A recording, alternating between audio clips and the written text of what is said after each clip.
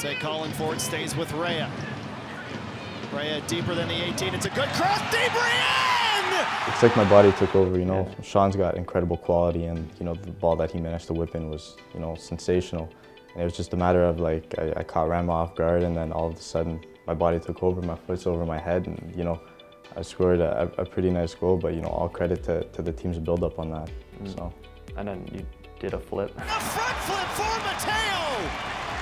Yeah, my mom's never too happy when I do that. She's always worried I'm gonna get hurt, but you know, it's the adrenaline going through my blood and I was just so excited. That week where you guys beat Forge twice in a row at home, the, the belief must have been really strong at that point, right? It was incredible, honestly, to uh, you know, be able to do that twice in front of our fans as well and you know, see everybody come out to support us. It was probably one of the most entertaining weekends to, to be involved in for sure. Ballard with a chance here, following up, and it's into the back of the net. It's off the foot of Matteo de Brienne. Tell me a bit more about what it was like for you last year. As you said, your first kind of full season as a professional. You sort of had to fight your way into the squad. You got kind of an opportunity and you just kind of had to, had to play well enough to stay in the squad, right? So it must have been you know, a, a, huge experience for you to, to learn and develop, right? It was a journey for sure. I mean, you know, I, I knew coming into it, nothing was given, and I'm one of those players, I don't like being given anything. I like making sure that I work for every opportunity, and so, you know, the fact that you know, I tried to prove myself every single day, and then I had, you know, the players and the coaching staff and everybody who had faith in me to give me that one opportunity to start a game, it just, you know, it, it builds confidence in uh, not only me, I believe, in everyone else, and so from that point forward, I was just very positive and, you know, honored to, to get the opportunity to go to war with those guys in the starting 11.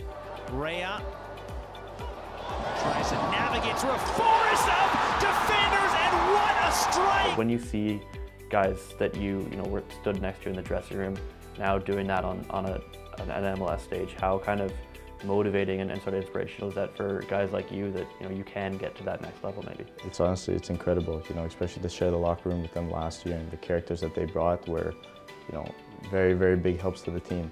And just to see them succeeding right now is just you know it, it's an honor to say that I've shared the pitch with them especially and you know I hope they they keep growing as much as they can and they can keep you know going to the top of their game. And just tell me a little bit about what the the general sort of atmosphere is around this group coming in I mean, it's almost like a new team, but we have a lot of returning players, so you know, it's just uh, about meeting a bunch of different characters. But so far, it's been uh, you know a great enjoyment. We got any sort of a sense of you know guys starting to to sort of fit in, or a sense of what kind of players are coming in here.